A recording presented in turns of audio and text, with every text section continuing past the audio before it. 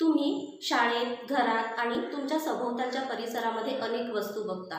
जसे की पाणी माती लाकूड विविध प्रकारचे धातू आणि घरामध्ये असलेली भांडी किंवा तुम्ही रोज वापरता त्या प्लास्टिकच्या वस्तू अशा अनेक वस्तू आपण बघतो.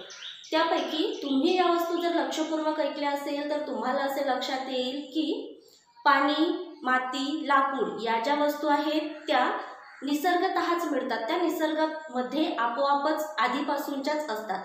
आणि आपण ज्या घरामध्ये वापरतो भांडी किंवा लाकूड लाकडापासून बनलेले फर्निचर आपल्या घराला लावलेल्या दारे खिडक्या शाळेमध्ये असणारे टेबल खुर्च्या ह्या ज्या वस्तू आहेत त्या मानवनिर्मित वस्तू आहेत.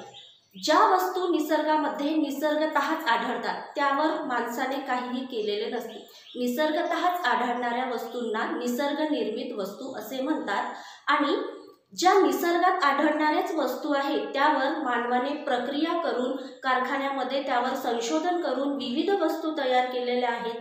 जसे की धातूपासून वेगवेगळे भांडी तयार करणे लोखंडाच्या विविध वस्तू तयार करणे. अशा ज्या वस्तू आहेत प्लास्टिकापासून वेगवेगळ्या आकाराच्या विविध वस्तू बनविणे. अशा ज्या वस्तू आहेत त्या वस्तूंना म्हणजे मानवाने स्वतः प्रक्रिया करून तयार केलेल्या वस्तूंना मानवनिर्मित वस्तू असे आपण म्हणूयात.